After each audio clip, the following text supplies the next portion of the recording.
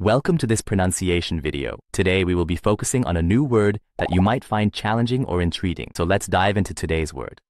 Natur, which means The intrinsic physical and biological systems existing in the universe.